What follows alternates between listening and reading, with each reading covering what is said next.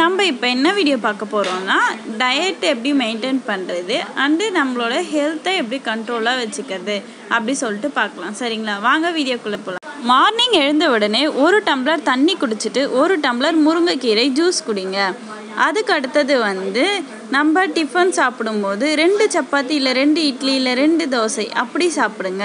தோசையை வேக வச்சு மூடி போட்டு வேக வச்சு சாப்பிடுங்க. அடுத்து மதியம் சாப்பாடுக்கு நீங்கள் எப்போவுமே சாப்பிட்ற அளவை விட பாதி அளவு. அப்படி இல்லைன்னா ஒரு பவுல் கணக்கு வச்சு சாப்பிடுங்க. அது வேண்டாம் அப்படின்னு நினைக்கிறவங்க வெறும் ஃப்ரூட் சாலட் மட்டும் கட் பண்ணி சாப்பிடுங்க. சரிங்களா? நெக்ஸ்ட்டு ஈவினிங் ஒரு five o'clock hot water honey and lemon இது மூணுத்தையும் மிக்ஸ் பண்ணி குடிங்க சரிங்களா?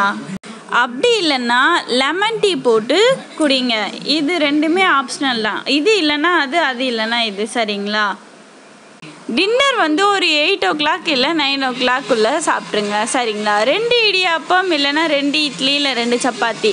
அந்த மாதிரி சாப்பிடுங்க ஓகேவா நைட் ஒரு ten o'clock green tea அந்த பவுடராக இருந்தாலும் ஓகே இல்லைன்னா டிப் பண்ணுறதா இருந்தாலும் ஓகே அந்த மாதிரி வாங்கி போட்டு அதை குடிங்க சரிங்களா? இந்த வீடியோ உங்களுக்கு பிடிச்சிருந்தா மறக்காமல் லைக் பண்ணுங்கள் ஷேர் பண்ணுங்கள் சப்ஸ்கிரைப் பண்ணுங்கள் அப்போ தான் என்னோடய வீடியோ உங்களுக்கு வரும். ஏதாச்சும் டவுட்னா கமெண்ட் பண்ணுங்கள் சரிங்களா?